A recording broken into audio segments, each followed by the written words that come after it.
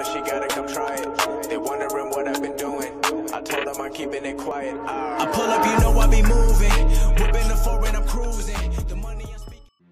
Hi guys, Lenz here and if you get this issue, unfortunately this app has stopped working. I am going to show you how you can resolve this issue. You may want to go over to settings here and you will want to go to apps. Whichever app it is happening from, uh, I will just encourage you to uninstall and reinstall that app.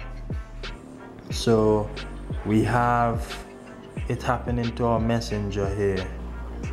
It's happening to this. So first to fix this issue here we want to go into messenger. So we are now into messenger here you want to go to storage. You want to clear the cache and also clear data right here.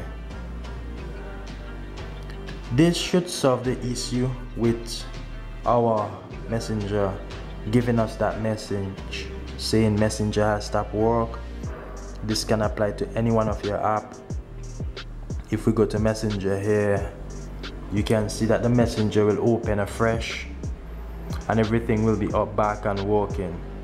If this did not work i would just advise you to uninstall the messenger restart your phone and then reinstall the messenger app or whatever app is giving you this problem. If the problem still happening i would just encourage you guys to just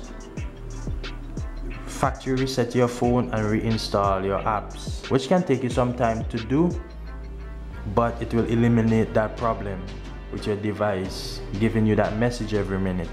So that's how we can fix this problem with messenger app.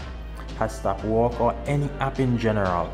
So i hope that this video was helpful. My name is Lenz and subscribe to my channel like this video comment down below let me know what's happening and hit the bell icon for my latest videos i'm out